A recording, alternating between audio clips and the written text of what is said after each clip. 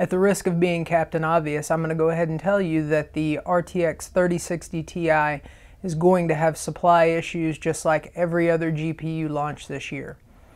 Although in this case that may not be a bad thing, you might not want to buy it right now, and here's why.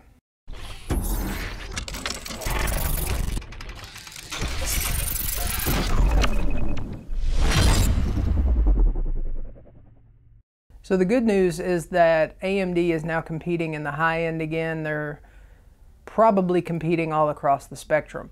Uh, and that is fantastic news. It's more options for the consumer.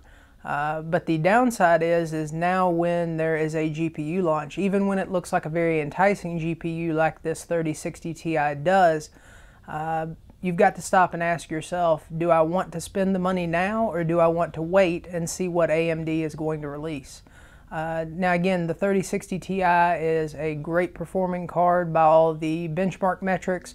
Uh, it's right there trading blows, if not beating the 2080 Super from last generation. Uh, and at 399, that is good value.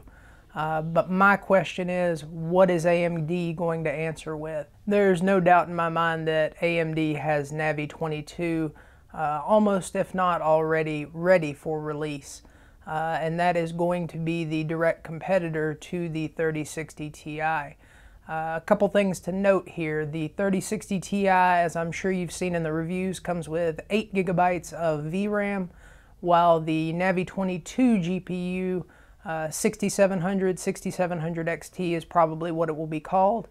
It will likely come with 12 gigabytes of VRAM. Um, NVIDIA does have DLSS on its side. That's going to upscale and give you 4K resolution or close to what looks like 4K resolution without the tax of actually running at 4K resolution.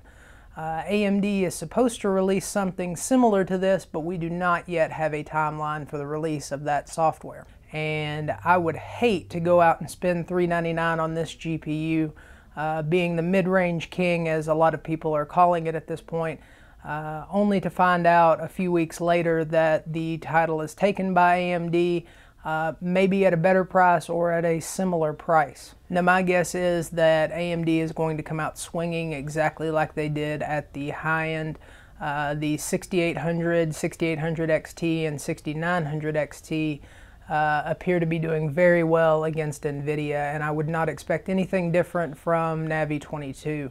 Now, I'm sure what you've been hearing all day in review videos is what a generational leap NVIDIA has made with the 3060 Ti over the 2060 or 2060 Super. And while the performance is fantastic compared to last generation uh, 2060, 2060 Super, the fact is that NVIDIA has slid their entire stack. And last generation, the 60 class card was made on a 106 die. Now that means that is a more cut down die. Uh, this generation, the 60 class and the 70 class are both built on the 104 die, which is a more full featured, full non-cut down die. Uh, so while it does look like a very impressive generational leap, uh, you have to keep in mind that they have slid the entire stack to do this. And there's only one reason that they would do that, and that's if they felt threatened by AMD. The other point to keep in mind about this launch is the fact that for about the last year, all reviewers have been touting the uh, Radeon 5700 XT as the best uh, mid-tier card at around 400 to 450 dollars.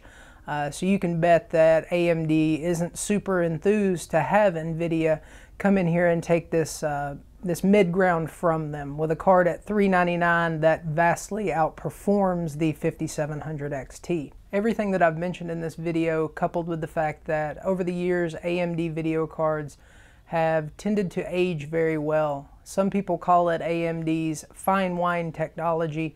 Uh, that's absolutely not something that AMD came up with. It's just a slang term that people use for the fact that AMD cards tend to perform better uh, as their lifespan increases. As they get older, they tend to pull back in charts that maybe they were losing in before. Keeping all of this in mind uh, and knowing that a Navi 22 launch is probably right around the corner, and the fact that you probably will not be able to buy a 3060 Ti, I would strongly encourage you to wait and see what AMD is going to release with Navi 22. Again, that's going to be the 6700 or 6700 XT. Uh, that's the assumed naming for Navi 22. Probably 12 gigabytes of VRAM versus the 8 gigabytes of VRAM on this 3060 Ti. Uh, I think it's probably worth you not putting yourself through the headache of trying to get a 3060 Ti right now and see what AMD has for us. That's going to do it for this one, folks. I appreciate you watching. Please get subscribed if you haven't already. Uh, don't forget to hit that like button and down in the comments section let me know are you going to try to get a 3060 Ti? Are you going to wait for Navi 22 or are you just pissed off at 2020 in general because you haven't been able to get a GPU and you're not going to bother trying to get anything? Thanks guys. We'll see you in the next one.